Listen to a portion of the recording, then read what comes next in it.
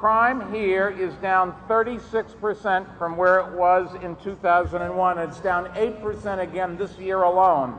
And since 2001, the NYPD has cut crime citywide by 32% and made this the safest big city in the nation. Yeah. And that's, that's why we call them the finest.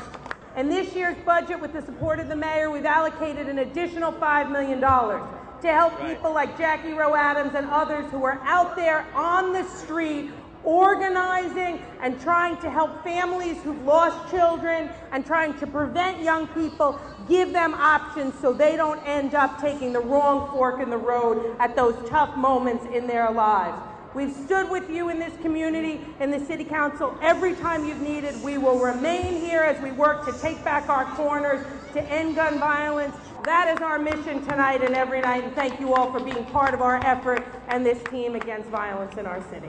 This is very important for the communities to let the people know the police still care.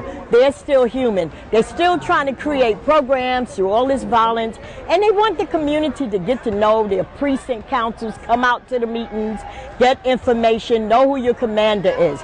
And you get a chance to see neighbors and know who's in your blocks in your community. National Out is, in, is important because it gives young people in the community an opportunity to engage with NYPD. Not just engage with NYPD in, in, in a general kind of way, but we actually interact. We have some officers who have actually sang and rapped and danced with us, with our young people. They get an opportunity to have conversation, to have dialogue about difficult things that are going on in the community. And then young people get a chance to begin to build those relationships that have been difficult to, to, to build. So we look at National Night Out as a time to talk about some difficult things, have a lot of fun, and then begin to build on a better relationship and a better community.